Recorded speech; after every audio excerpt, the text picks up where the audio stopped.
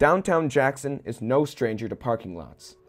The aesthetic of what should be a historic city is disrupted with stark, empty spaces littered between buildings. You can't go more than a block without standing face to face with a field of gray cement and yellow lines. From an aerial perspective, the buildings almost seem out of place, taking up the parking lot's territory.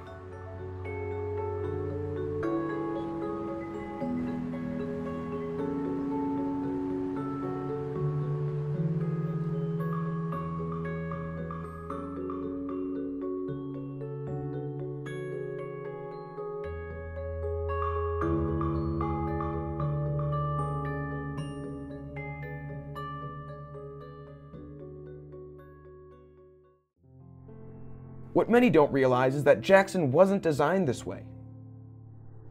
Every city block was once filled with businesses and factories. But as time went on, it was much more cost effective for the city to simply demolish aging buildings and replace them with parking lots rather than pay potentially hundreds of thousands to maintain the structures. Here on Missing Jackson, I'll provide you with brief summaries of those buildings eroded by the winds of change and help paint a better picture of what Jackson used to be.